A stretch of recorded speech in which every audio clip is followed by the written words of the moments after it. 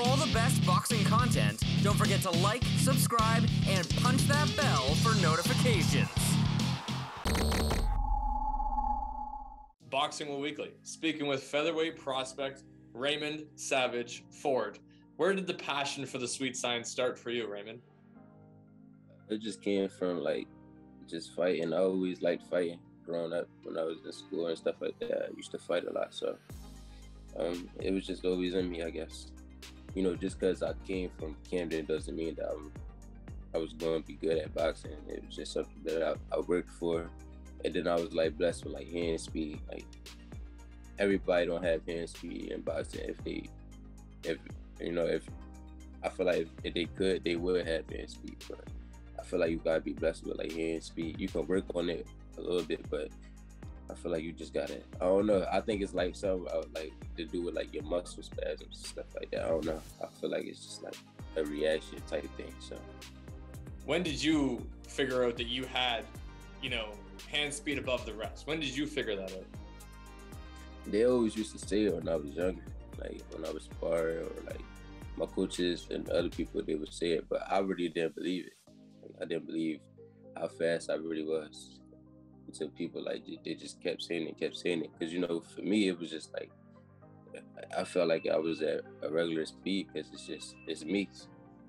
I guess people looking at it is like different from me, like viewing it myself because it's coming from me. So, but I ain't start really believing in my speed until like I got a little older, probably like around like 17. Did were you a fight fan growing up? Like a fight fan of uh, professional boxing when you were growing up? From the from I want to say from like ten years old, I was like into boxing. I wasn't really into boxing before that. I was like more like watching wrestling and stuff like. But then when I got introduced to boxing, that's when I just started watching wrestling and just started focusing on boxing. And who did you like to watch when you were younger? Floyd Mayweather, Roy Jones, Adrian Broner. What drew, what drew you to them? Just their skills and you know um, their hand speed, things like that. Yeah, Roy Jones had uh, probably some of the fastest that's ever been in a ring. Uh, yeah, that. makes a whole lot of sense. Uh, in terms of you know boxers today, who do you draw inspiration from? I'm watching Shakur Stevenson, Devin Haney, Gervonta, Jaron Ennis. Uh, Terence Crawford. Um, I like Inoue, Canelo Alvarez. Yeah, that's pretty much it as of right now. Uh, and am I right in saying that you sparred with Shakur Stevenson? Yeah, yeah I sparred with Shakur uh, a lot. That's like my big brother. Actually, he's helping me throughout this camp more like, you know, being in my corner and giving me pointer and things like that. So right now I'm at his house actually. So, yeah. Oh wow. Like, yeah. That's that's awesome, and I heard you also trained in the same gym as uh, Tevin Farmer, and he also you've you've won some rounds with him as well. Yeah, definitely sparked uh, Tevin a few times. Yeah. What do you What do you think the most important thing is uh, from Shakur that you've learned? I learned more just from him being in my corner and you know help me see different things that I don't normally see. So um, it's just like little like little things that tell me I'm doing wrong or what I need to start doing more. Just little things like that. But um, yeah, the main thing he just be saying like, it ain't no, it ain't gonna be no debate if I'm doing the hit and I'm not getting hit. So it's just about being more smart and just completely dominating through every round, staying focused through every round, every second of the round. So that's what, that's the advice I take from. Shakur obviously coming off a massive win over Oscar Valdez. What did you think about his performance in that one? And you know, there's some people that have him on some pound for pound lists. Where does he rank pound for pound in your eyes? I put him like around nine, nine, eight. Yeah. But uh, yeah, he definitely had a, a, great performance against Oscar Valdez, and uh, I feel like he he performed in a different way that people didn't expect uh, I feel like people expected him to move a lot.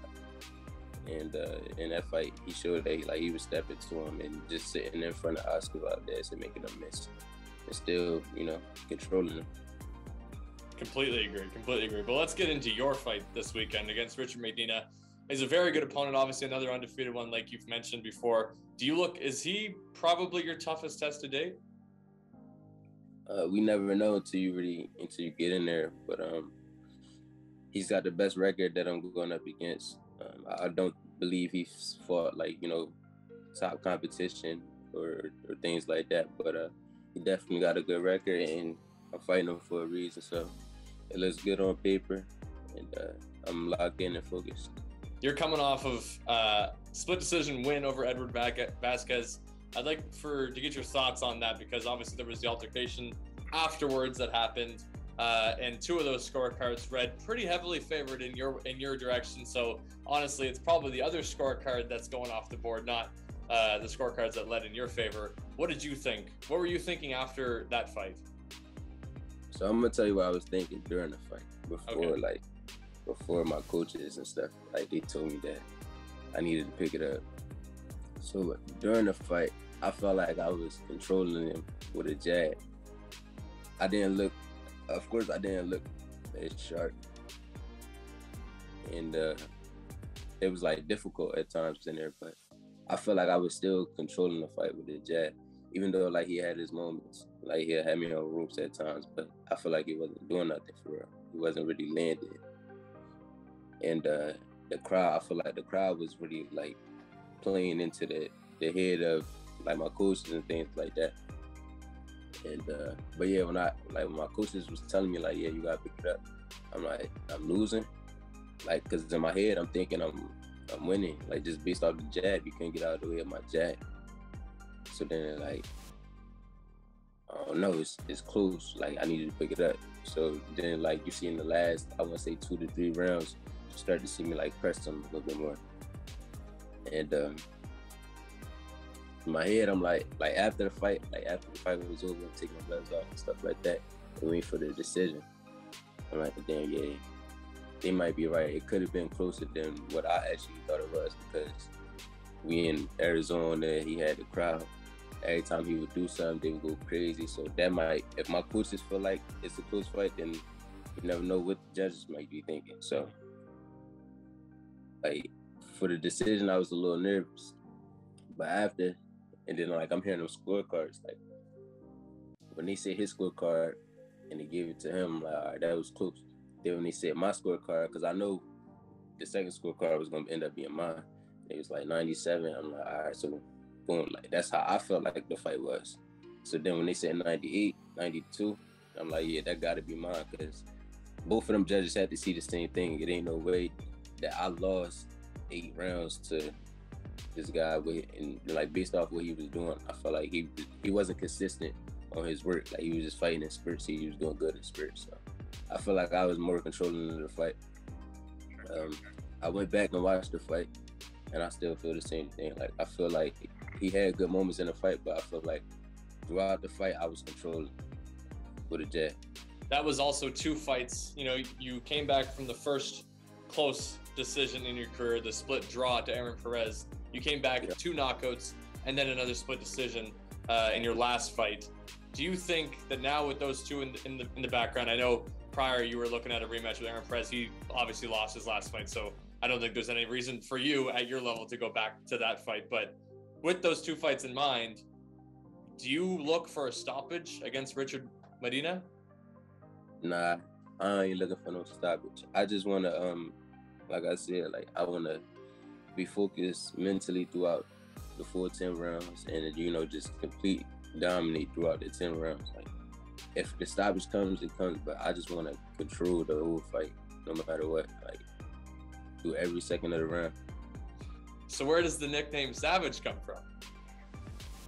It comes when it comes. Like you'll see when, like you look at some of my stoppages. If I smell blood, I get somebody hurt. I get all over. Like, and nine times out of ten, if I hurt them in that round, they go that same round. Like not even a minute after. Like as soon as they get up and the little eight count, they get a little eight count or whatever. I'm on them, and then I end up stopping them. So the savage is definitely there, but I'm also a boxer too. I'm a boxer first, but savage can definitely come out. You're saying you had the nickname Savage outside of boxing? Yeah. Just just because, or was there a reason to it? I was just like real aggressive. Like even though like I wasn't a loud kid, I wasn't loud at all. I just was snap like instantly if somebody you know pissed me off anything like that. I would I had a short fuse, so I would spark up real quick. So right now, amongst those champions at 130, obviously or 126, the guys you're you're going for, who do you want next? Um, I want that that WBA um, super title from Leo Santa Cruz. Either he give it up or he come back down to fight and defend it. Um, I don't I don't know what's going on, but um, yeah, I want that title. I'm ranked number six for it. I know after this fight, I'm probably gonna be ranked higher for it. So yeah, that's what I'm I'm looking for. It seems like you're pretty locked in on the whole boxing thing, obviously. But outside yeah. of that, you know, in between camps, what other interests do you have? I, I just like to enjoy my, my, my time with my people. Uh, my daughter, I like to love being around her. She, you know, she take boxing off my mind. Like it's just, you know, it's it's a different experience. You know, having a a, a child, especially a girl, for me anyway. Um, so I love spending time with her. I love spending time with my family. I love spending time with my friends.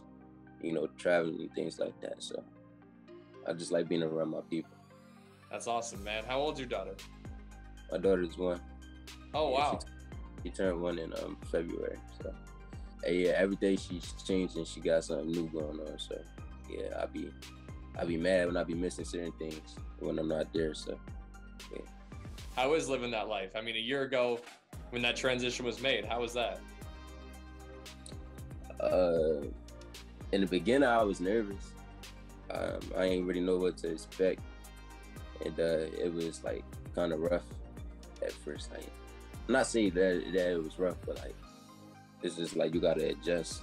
You gotta adjust to you know the new life, the new father life, and uh, you know waking up at night, things like that. Her crying in the middle of the night.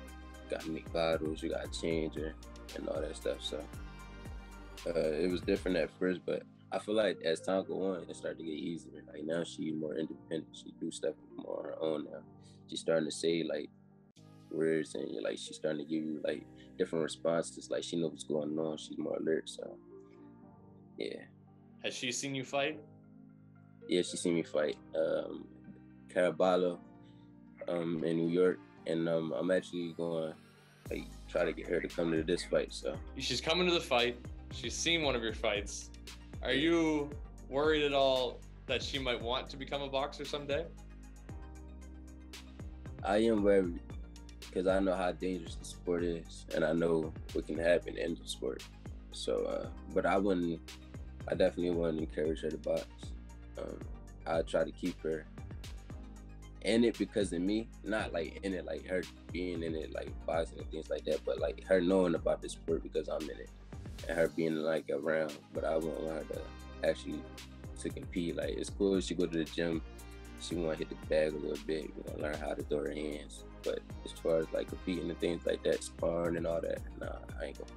Especially because I know how hard it is to be a boxer and how disciplined you gotta be, and just you know, you gotta give up a lot. You gotta sacrifice a lot. You gotta you know give up your childhood, kind of like you know, um, you can't really go outside and hang with your friend as much as you want to. That's why like I do a lot of that now. Like when I'm not in camp, I enjoy all my time, as much time as I can with the people that I love, because I know boxing can be lonely. It's a lonely sport. Like right now, I'm out here by myself.